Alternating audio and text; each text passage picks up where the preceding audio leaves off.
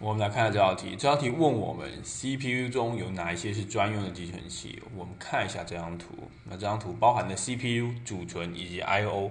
那么哪一些是专用的呢？首先是这个 MDR、MAR。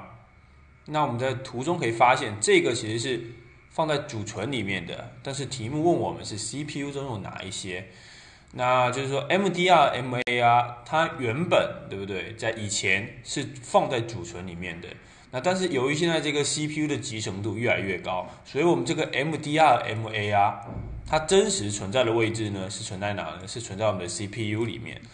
那为什么我们画在主存里面？就是这个是逻辑上，我们把它画在主存里面，因为以前就是这么画的。那我们一步一步传承下来。那但是真实它的所在的位置是在这个 CPU 里面。那这两个呢是专用的，专门用来存放一些这个，比如说这个啊。要送往内存或者从内存取出来的数据，MAR 呢存存放的是我们要访问的这个内存的地址的，这都是专用的。那 CPU 里面有哪一些专用的呢？IR 指令寄存器只能够存放我们当前现在要执行的这条指令。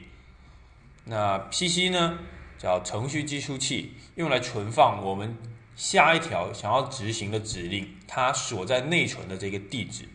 啊，PC 存放的是一个地址，还有什么呢？还有 PSW 叫程序状态式寄存器，那用来存放的是一些呃可以反映我们现在这个程序正在工作的这么一些呃数据位，比如说是否有溢出啊等等的这些。这道题讲解结束。